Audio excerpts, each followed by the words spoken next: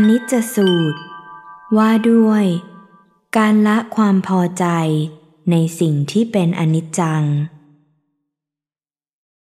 พระนครสาวัตถี ภิกษุรูปหนึ่ง เข้าไปเฝ้าพระผู้มีพระภาคถึงที่ประทับ ถวายอภิวาทแล้ว นั่ง ณที่ควรส่วนข้างหนึ่ง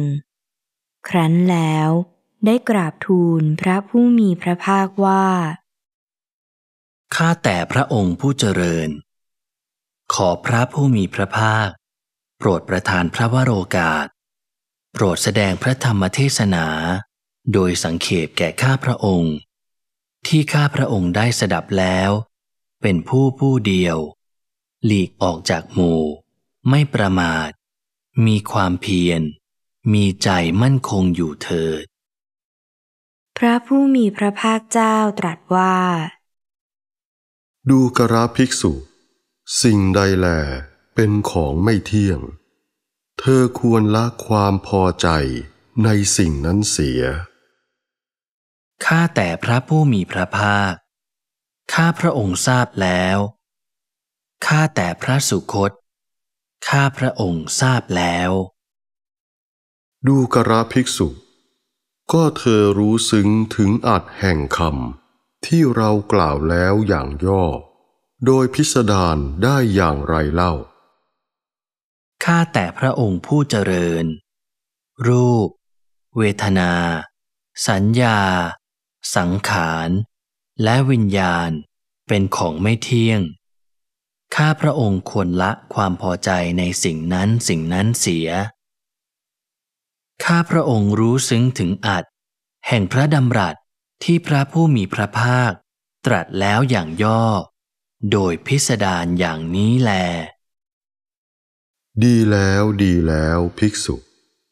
เธอรู้ซึ้งถึงอัดแห่งคำที่เรากล่าวแล้วอย่างย่อ โดยพิสดารอย่างดีแล้ว ดูกระภิกษุ รูป เวทนา สัญญา สังขาร และวิญญาณ เป็นของไม่เที่ยง ควรละความพอใจในสิ่งนั้นๆเสีย เธอพึงทราบอัดแห่งคำที่เรากล่าวแล้วอย่างย่อ โดยพิสดารอย่างนี้เถิดครั้งนั้นแหลภิกษุรูปนั้น เพลิดเพลิน อนุโมทนาพระภาสิทธิ์ของพระผู้มีพระภาค ลุกจากอาสนะ ถวายบังคม กระทำประทักษิณแล้วหลีกไป ครั้งนั้นแล เธอเป็นผู้ผู้เดียว หลีกออกจากหมู่ ไม่ประมาท มีความเพียร มีใจมั่นคงอยู่ ไม่นานเท่าไหร่ ก็ทำให้แจ้ง ซึ่งที่สุดแห่งพรหมจรรย์อันยอดเยี่ยม ที่กุลบุตรทั้งหลาย ออกบวชเป็นบรรพชิตโดยชอบต้องการนั้น ด้วยปัญญาอันยิ่งเอง ในปัจจุบัน เข้าถึงอยู่